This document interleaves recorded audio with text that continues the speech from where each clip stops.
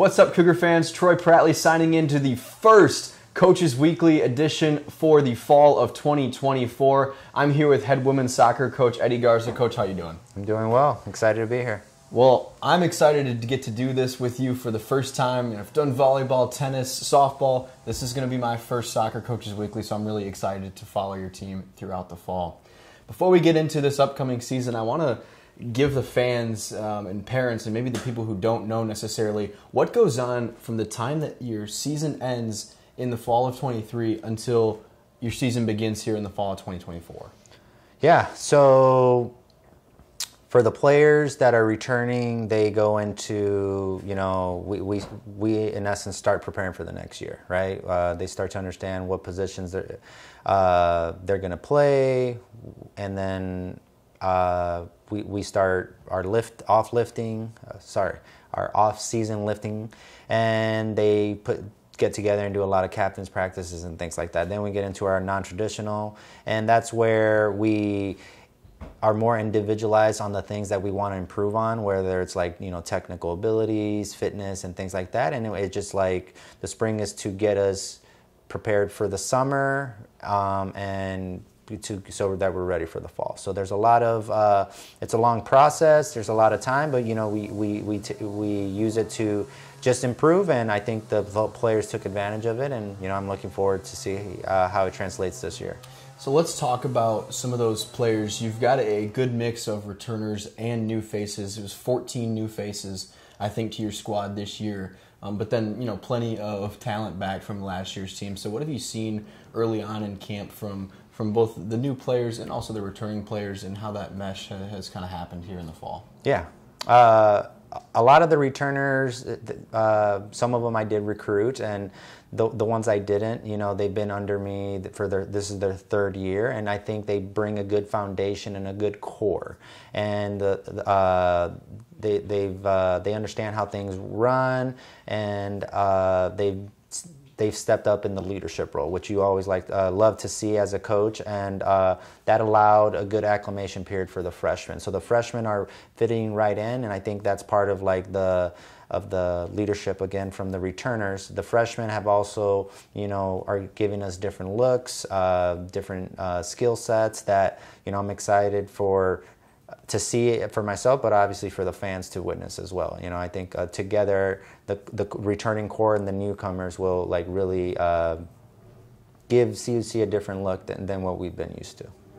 And let's talk about kind of heading into games. You know, last week you got to go to Clark and, and scrimmage there, and what did you see from that scrimmage? You know, sometimes that's a lot of trying to put the pieces and see, you know, which group works best together and kind of how that all works itself out. What did you see out of that scrimmage that, that gives you the confidence to say, you know, we're moving in the right direction, we're going to have a, a good season this year? Yeah, in a nutshell, the returners have broken a lot of the habits that we've been working to break. You know, um, we've uh, we've we have a core of how we want to attack and how we want to defend, and and they ha- have set that foundation. So I don't have to reteach it. I just have to like uh, freshen up on it. Uh, so I think they have a good understanding, and uh, you know we're seeing the the, the pictures that be, we've been wanting to. Uh, work for, which is more possession, more, more, of the ball, and naturally in any sport is finding ways to win. So for us, scoring opportunities and going to goal and trying to, uh, you know, find ways to win.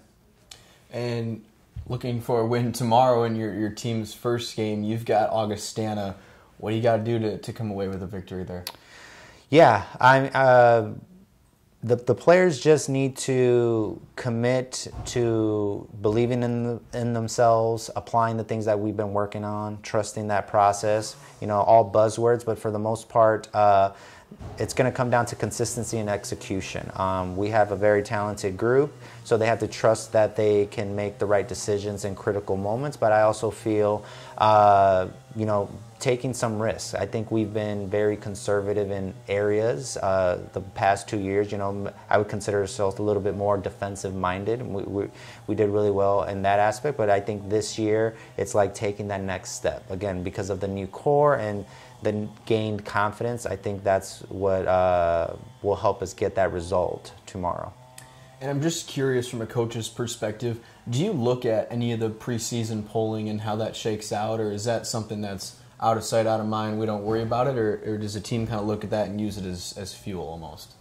Preseason polling is has has little to do with anything, mainly because it's based off uh, their the coaches' rankings, mm-hmm. what they submit to their sports information directors. Um, every team loses players, every team gains new players, so it's hard to predict how the actual um, season will lay out. I'm fine where we're at. You know, we can kind of coast under the radar and surprise some people. But um, yeah, I, I, we don't pay too much attention to it. It's it's a for me it's a, a quick email. Just keep it as is yep. and move on. Yeah. And, and before we wrap up here, I'm you know also curious about this. Very different than the sport that I play in football, where we play one game you know every seven days your team's going to go on a stretch here early where you're going to play five games in in just nine days. And so, how does that recovery time look like? Where you're trying to forget about uh, a loss or a good win, um, and then recover back mentally and physically in a taxing sport, you know, where there's a lot of back and forth, and your legs can get tired and and so forth. To be able to keep going and play that many games in a row, one after another, and just stay fresh mentally and physically. Yeah. Uh it, it's going to come down to part of it is rotation. Um, so having the depth and strength to you know uh, give people a rest in those games because they maybe need more recovery. And I also feel uh, my team has the mindset of like one day at a time. So today we were focusing on training, making sure if this was the last time we touched the ball, it was the best that we could have it. And I thought they did really well. Going into Augustana, you know, we focus on them we're not thinking uh, of, uh, of our next opponent. I didn't know we went on a, uh, in nine days, five games, but I mean that's the reality of of, uh, of our schedule. I like to front load the the non-conference, so I don't play non-conference in between conference, mm-hmm. but uh,